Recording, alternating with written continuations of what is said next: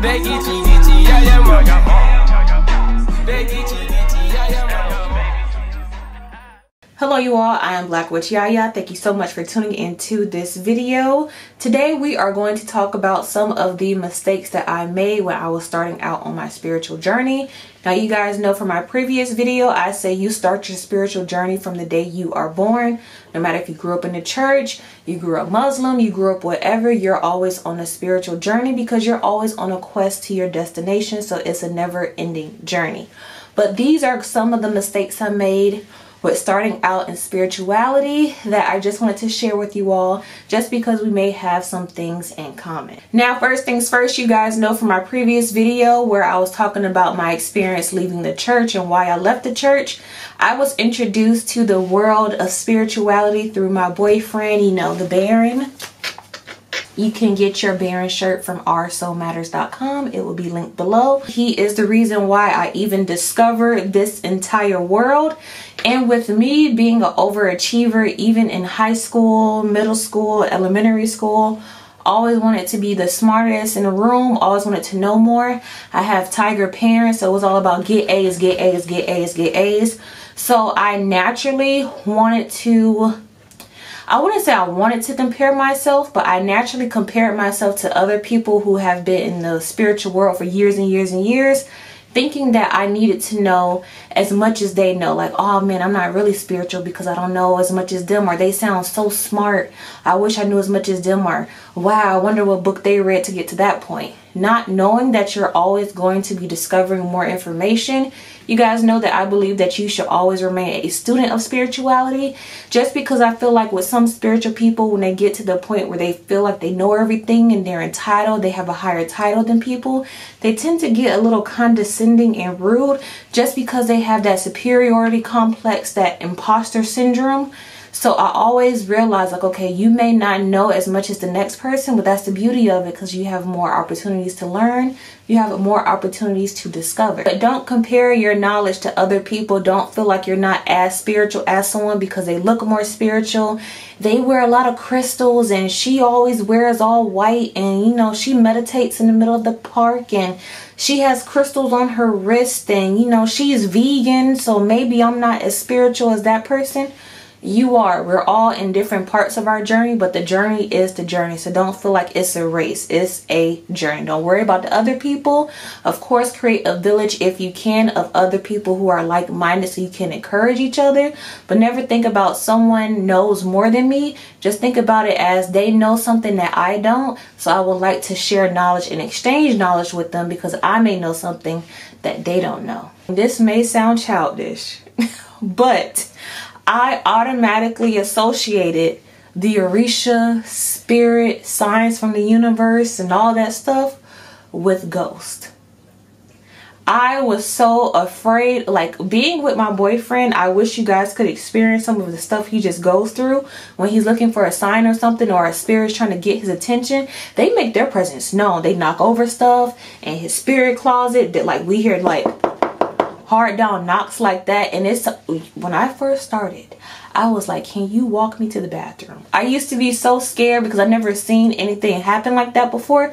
Like oh my god did that candle really blow out by itself? Or we didn't put that there. Where did that come from? And actually seeing it in person I said this is Disney Channel. Do not look under the bed. Monsters Inc.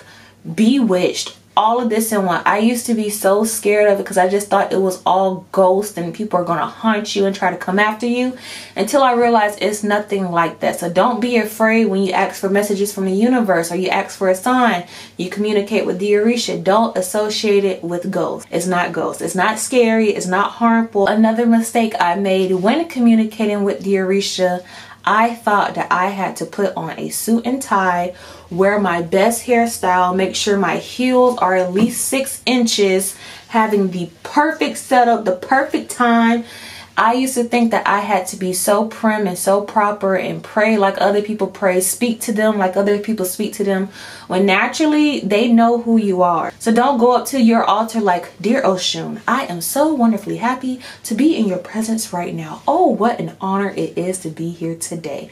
So the reason I am here, do not be yourself. And that's one of the things that makes spirituality so easily welcoming and comfortable because spirituality is you, it accepts you, you are you, you are spirituality. It goes hand in hand. Like you have it within you so you can fully be yourself. Another point, and this goes into the first point I made with wanting to always be the smartest and know a whole bunch of information. When my boyfriend would have conversation with, you know, his spiritual friends or priests and initiates and all that stuff, I would be silent and you guys, I am a Gemini. So being silent is like, girl, what is wrong with you? I would be completely silent just because I felt like I wasn't knowledgeable enough to have any opinion or input. I remember one time we went to a Botanica in St. Pete. The owner invited us there. And this was before I was Blaque Witch Yaya. I was just the Baron's girlfriend. And of course, I was diving into it, learning about it, but they had full on two, three hour conversation and I didn't say a word. The only input I gave, if he needed a witness to something, I'd be like, yeah, I remember that. Yeah, that happened. I didn't say anything just because I felt so intimidated. Like, oh my God, these people up here in all white. Oh God, he got this hat on. I don't know what that means. He got like on 30 Ilekes. Oh Lord, she owned a Botanica. So of course she know more than me. Let, let me not ask any questions because I don't want to you know, sound stupid. Oh shoot, they just kneeled at the door. What are they doing over there? Like I was just sitting in trying to take in everything to the point where I shut down because I feel like I wasn't worthy enough to have an opinion. So that goes to there's no stupid questions, there's no stupid opinions. If you're surrounding yourself with the right people, you should always feel comfortable to state your piece or to ask a question. Another mistake I made was sharing my experience with too many people. Now, when I first got into spirituality, I was super excited. I was like, oh my gosh, what a wonderful world. Like, I was just super excited. I wanted to share my experience with people. And that's when I realized, girl, people are Christians out here. You just can't be talking about your first spell. Girl, don't be talking about these crystals. These people believe in holy water. So, like, you up here trying to explain Florida water. Like, I realize that you can't share your experience with everybody, but don't let that discourage you. Spirituality should mostly be kept to yourself, especially with the deeper experiences that you go through. Some people aren't going to be that accepting to it, so just be careful who you share information with. So, the last mistake I made and this has really come to pass and I actually noticed this yesterday. I underestimated how powerful I am. And you're probably doing the same thing too. Around this time last year, I manifested something. Like, honey, I went to the ocean and I really manifested something. And I have fully seen it come to pass. And I was just like, it's amazing when you put something in writing, you put forth the effort, you believe it, you don't have any doubt, you trust the process, things come true.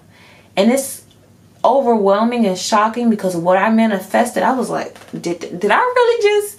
And when I go back and read my manifestations of that day, I'm like, everything has come true. When you really manifest something and you see it, you're, you're just taking it back like, wait, I really just I I said it and it happened. Like I did that. It's shocking. So I underestimated how powerful words are in general. Your words, her her words, his words, their words, non-binary words, everybody words are so powerful. So make sure you use them carefully. But those are just a few of the mistakes I made starting out on my spiritual journey. Let me know if you guys can relate to any of those mistakes. What mistakes you made? What mistakes are you making now? What are you correcting? Let's talk down below. But like I always say, as above, so below, as within, so without, as the universe, so the soul. Until next time, you guys, I Ashe, baby.